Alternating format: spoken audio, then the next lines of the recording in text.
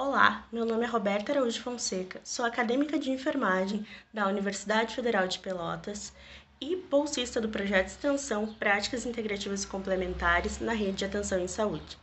Nesse vídeo, eu irei apresentar para vocês o nosso trabalho sobre impactos das ações extensionistas sobre plantas medicinais no Instagram durante a pandemia Covid-19.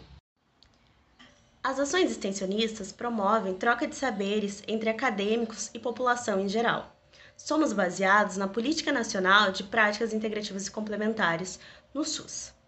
Durante a pandemia, os acadêmicos uh, extensionistas tiveram de se adaptar e produzir materiais para as mídias sociais. Em especial, vamos falar das ações e dos impactos gerados na rede social Instagram do nosso projeto extensão. No projeto de extensão participam professores, alunos da graduação e pós-graduação da Universidade Federal de Pelotas. Além disso, alguns colaboradores externos. O projeto possui a rede social Facebook, Instagram e um canal no YouTube.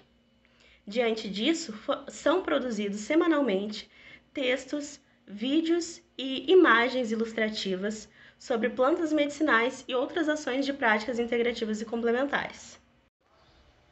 No período de 24 de março a 21 de agosto, a página do Instagram do projeto de extensão Práticas Integrativas e Complementares na Rede de Atenção em Saúde possuía 393 seguidores e mais de 7 mil visualizações. Percebeu-se que tais visualizações concentravam-se em maior parte nas publicações sobre plantas medicinais para o cuidado à saúde. Em vista disso, foram produzidos 69 materiais educativos, 54 materiais informativos e 12 vídeos sobre plantas medicinais.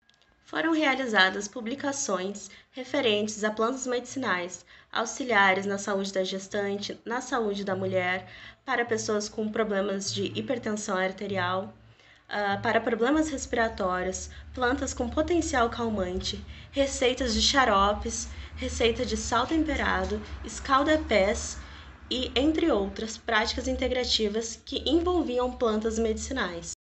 Através da rede social Instagram, foi possível disseminar conhecimento, sendo uma grande aliada na educação em saúde. Os integrantes do projeto de extensão puderam trabalhar em equipe e pesquisar para a produção de materiais. Além disso, foi uma maneira de manter o vínculo durante o distanciamento social que a pandemia nos impôs. Obrigada pela atenção!